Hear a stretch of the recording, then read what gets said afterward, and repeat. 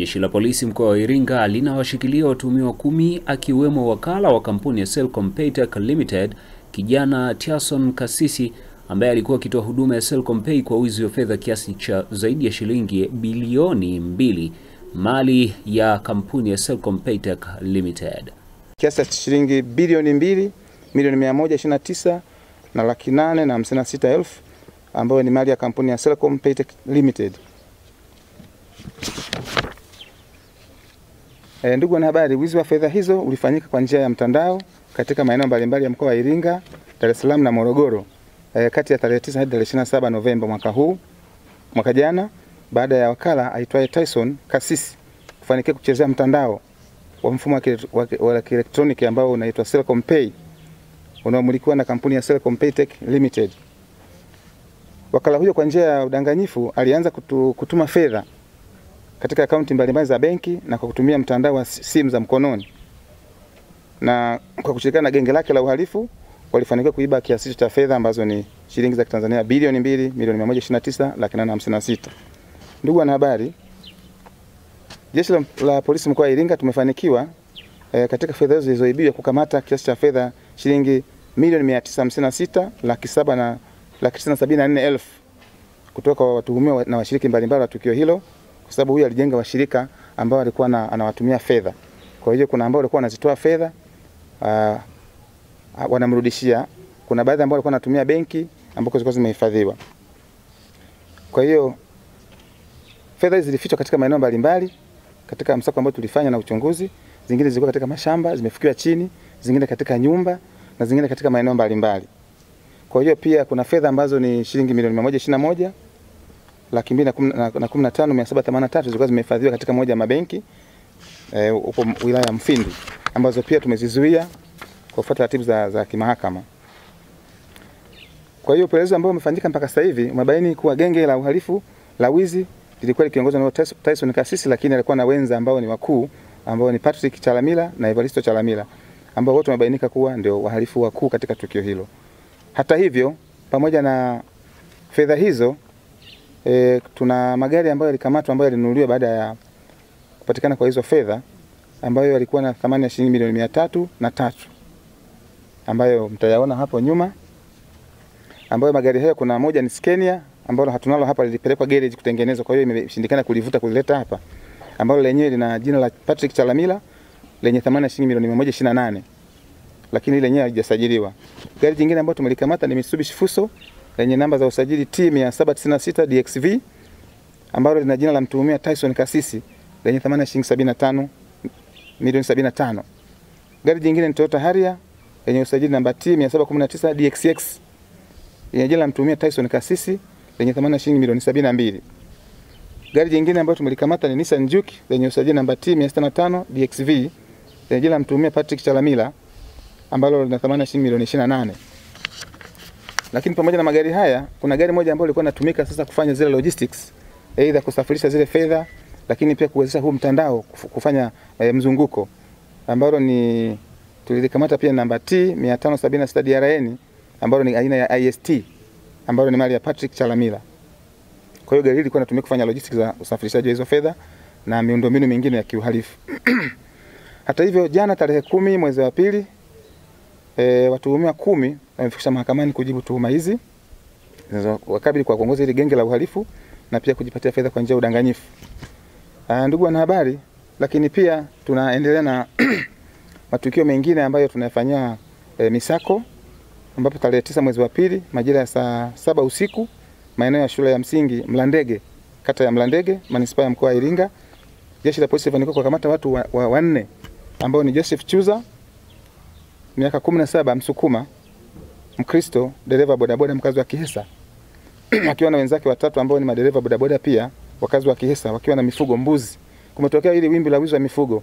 Sasa katika msako tulifanikiwa kupata taarifa na kuwakamata hawa wakiwa na mbuzi watano, walikuwa hawana vibali, ambao walikuwa wameibiwa maeneo ambayo hayajajulikana, lakini pia tulifanikiwa kukamata pikipiki mbili ambazo ni mazalia ya uhalifu huo. Kwa hiyo hawa katika matukio mengine ya uhalifu wanatumia hizi pikipiki, lakini pia kwa tukio hili la mifugo walipakia hawa mbuzi. Hizo pikipiki tumekamata ni mbili, namba MC 626 CMH aina ya Boxer ambayo hii ilibeba mbuzi watatu, na nyingine ni MC 920 CWP aina ya Boxer ambayo ilibeba mbuzi wawili, na hawa walikuwa wanapelekwa mtumia mwingine ambaye anaitwa Onesmo Paracela maeneo ya Mlandege ambayo iko ndani ya manispaa ya Iringa. Lakini mafanikio yametokana na taarifa za wananchi ambazo kama tunavyosema, bila taarifa za wananchi kufanikisha uhalifu ni vigumu. E, ndugu wanahabari, pia tunaendelea na misako katika maeneo mbalimbali ya mji wa Iringa na viangaza vyake ambapo tarehe tatu mwezi wa pili mwaka huu majira ya saa kumi na moja alfajiri maeneo ya MR Hotel barabara ya Mkwawa kata ya Makong, Makongoroni manispaa ya mkoa wa Iringa tulifanikiwa kukamata wavunjaji wawili ambao kwa majina anaitwa na Nazareno Mduda miaka hamsini Muheye mkazi wa Kitwiru na mwenzake ambaye ni Filipo Daniel miaka 40 mkazi wa Kihesa wakiwa na vipande viwili vya nondo vikiwa ndani ya mfuko ambavyo hutumika kufanyia uhalifu. Lakini baada ya hapo tulifanya upekuzi katika nyumba ya Filipo Daniel na kupatikana kwa vifaa mbalimbali ambavyo ni mali za wizi ikiwemo TV tatu, flat screen pamoja na subwoofer moja aina ya C piano yenye spika tatu.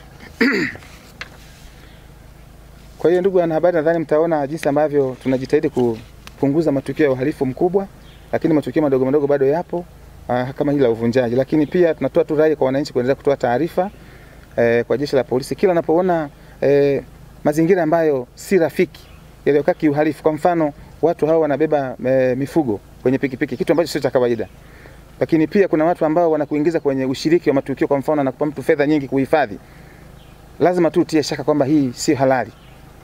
Lakini mtu anakuja anaegesha magari nyumbani kwako, nitunzie gari, ukijua uhalali wake sio, basi tunaomba wananchi waendelee kutoa taarifa ili kusudi tuweze kuokoa mali za wananchi na kufanya mkoa wetu uzidi kuwa salama na shwari. Majina yangu naitwa Levino Ngalimitumba Haule, ni wakili uh, niko hapa ofisi za Kalikenya Wedlaw Concert Advocates.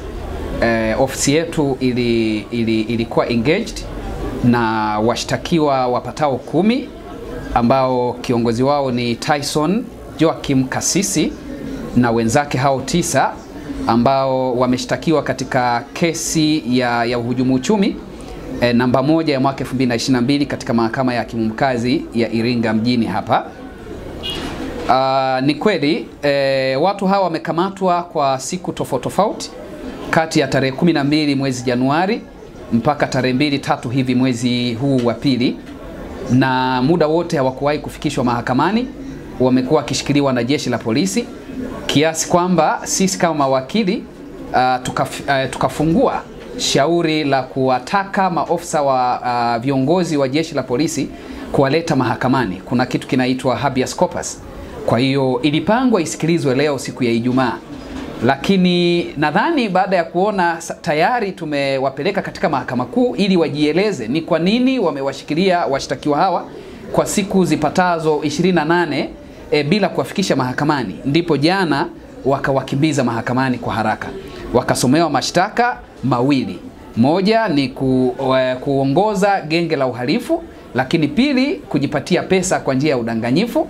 Na katika mashtaka yao wameeleza kwamba e, watu hawa kumi ambao ni wateja wetu wamejipatia pesa kwenye mtandao wa pesa wa, wa, wa Selcom Paytech uh, Limited na kiasi kilichowekwa kwenye e, hati ya mashtaka iliyosoma mahakamani jana na wakili wa serikali katika ofi, e, kupitia ofisi ya DPP ni kwamba wame, zimechukuliwa hela kiasi cha shilingi e, bilioni mbili milioni mia tatu sitini na tatu na laki tisa na sabini laki tisa na elfu sabini za Kitanzania.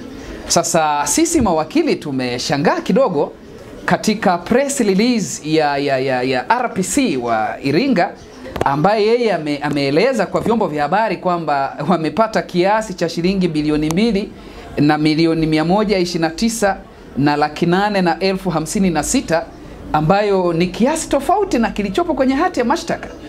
e, lakini pia sisi tunashangaa RPC kwa mamlaka yake amewashikilia watu hawa tangu tarehe 12 mwezi Januari, hakuwahi kufanya press release akaelezea aliyoyaona katika mamlaka yake.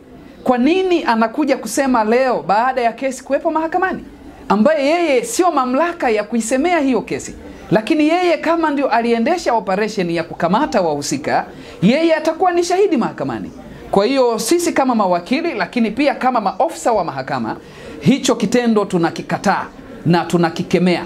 Sio kitu sahihi mtu kuelezea masuala ya ushahidi ambao unatakiwa kuja kuelezea mahakamani kama anatoa leo figa zilizoelezwa katika hiyo press release, kwanza zina contradict na hati ya mashtaka iliyopelekwa mahakamani, lakini pili, kiasi anachokisema ni tofauti na ambacho wateja wetu wametueleza. Kuna tofauti ya karibu bilioni moja haijaripotiwa na RPC. Sasa kwa kuwa yeye ni pengine anaweza kuwa shahidi mzuri au maofisa walioko chini yake wanatakiwa kuja kuwa mashahidi wazuri mahakamani, tunatamani tumwambie, na kupitia vyombo vya habari tunamwambia RPC wa Iringa aache kuzungumzia kesi iliyoko mahakamani, aache kabisa, kwa sababu mwisho wa siku ni kwamba anawafundisha mashahidi na yeyote atakayesikiliza kile ambacho anakielezea kwa vyombo vya habari, ili aweze kukimaki na kukikariri aweze kuja kusimulia mahakamani. Tafsiri yake ni kwamba anaharibu e, mwenendo wa ushahidi na anaingilia uhuru wa mahakama. Asante sana. Labda hawa watuhumiwa kumi, nyie mlikutana nao wapi? Uh, sisi tulifuatwa na ndugu zao. E, kama unafahamu watu hawa wote kumi ni wanandugu, wapo kumi, lakini wameacha wake zao, wote wana familia, lakini wameacha jamaa zao na marafiki. Kwa hiyo e, familia zao ndizo ambazo zilitutafuta sisi na kutupa maelekezo na mara kadhaa tulipojaribu kwenda polisi kupata nafasi ya kuzungumza nao, lakini pia kutambulishwa kwao, kwa sababu ndugu ndo ametutafuta. lakini mwisho wa siku e, e, mshtakiwa ndo anatakiwa amfahamu wakili na yamkini kuridhia kwamba aendelee. Kama hana imani naye anaweza kumkataa. Kwa hiyo tulipata shida na upinzani sana katika ku, kwenda kupata nafasi ya kuzungumza nao, lakini tunashukuru Mungu, baadaye tulifanikiwa kuzungumza nao na wakaridhia kwamba tuendelee kufanya nao e, kwa maana ya kuwatetea. Kwa hiyo huo ndio ndicho kilichoendelea kwa namna gani tuli, tuliweza kupata instructions kish, ki, kwa Kiswahili weza kusema maelekezo ya kuwasimamia ya kuwatetea. Sasa labda kwa hichi ambacho amekifanya RPC, nyie kama wakili upande wa washtakiwa, nini mnakusudia? Uh, sisi tunaona kwanza tu, tu, tuseme wazi kwa kuwa anachokifanya ni makosa na anatempa na ushahidi ambao kwa namna nyingine ndio unatakiwa kuja kusimuliwa mahakamani. Amewahi kusimulia kupitia vyombo vya habari, maana yake imekuwa ni public eh, chochote kinachokwenda kinachotakiwa necessary information zinazotakiwa kuja kusimuliwa mahakamani ameziweka kwenye public. Mtu yeyote ana access na anaweza kutumia hizo simulizi za RPC kuwa sehemu ya simulizi mahakamani. Kwa hiyo sisi kama maofisa wa mahakama eh, tunachoweza kukisema ni kumkemea asirudie kusimulia simulizi za mambo ambayo yako mahakamani, na simulizi yoyote anayoisimulia ambayo ameichukua kwenye cause of investigation ni necessary information kuja kutumika kwenye ushahidi wa kesi. Anaharibu ushahidi, anafanya preemption ya ushahidi, lakini mbaya zaidi anaripoti figa ambazo sio sahihi kwa mujibu wa mashtaka ambayo yameletwa na ofisi ya mashtaka ya taifa mahakamani. nimeangaika huku na kule kutafuta kamera bora. Mr. Jumbo Mkombozi katuletea kamera bora na bei poa. Ya, naitwa Madinda Solo, mwimbaji wa rumba Tanzania. Mimi kimbilio langu ni kwa Mr. Jumbo Supplies kwa kamera bora na za kisasa. Wewe je? Mr. Jumbo Supplies ni kampuni ya usambazaji wa vifaa vya umeme, vifaa vya mawasiliano na vyombo vya habari kama vile kamera zenye viwango ikiwemo CCTV kamera pamoja na lenzi, taa kwa ajili ya picha na video, microphone za kawaida pamoja na wireless. Waweza kuchomeka kwenye hizo device pia tunazo. Bila kusahau sisi ni wataalamu wa uuzaji wa vifaa vya ujenzi vyenye ubora. Kwa Dar es Salaam tupo ghorofa ya Benjamin Mkapa, plot namba 14 mpaka 16, na mkoani Dodoma tupo eneo la kituo kikuu cha mabasi, duka namba 5D, ghorofa ya kwanza, na pia tupo mtaa wa Uhuru, barabara ya nane. Wasiliana nasi kwa simu namba 0754259771 au 0746801111 na 0739112011. Mr. Jumbo Supplies, we are your innovation partner. Easy.